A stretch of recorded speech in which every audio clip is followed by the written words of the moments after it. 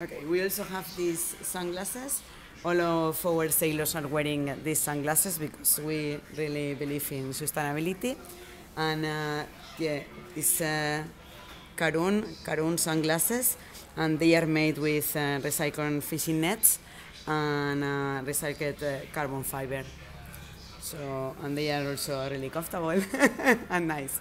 Okay, cool. Thank and you. You can buy them. Uh, you can buy them on uh, on the Karun webpage. It's Karun World. okay.